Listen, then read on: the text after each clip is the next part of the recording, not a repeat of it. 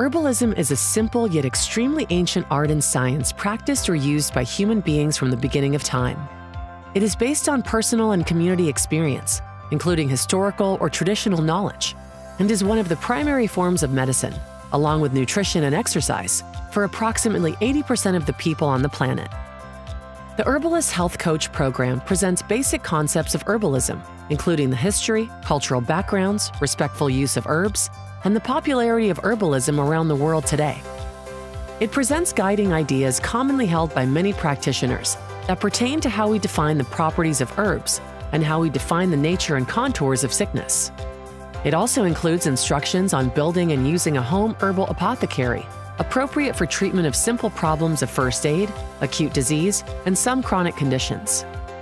This unique program provides the student with a basic foundation in herbal medicine that will serve both simple conditions encountered at home and as a foundation for more advanced practice. It also includes in depth training in holistic nutrition, holistic anatomy, coaching and communication skills, as well as client relations and professional ethics.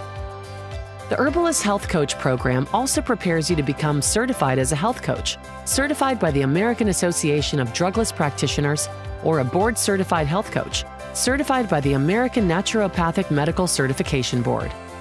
Speak to an admission advisor today at 833 537 1760 to find out how to get started with this exciting new program.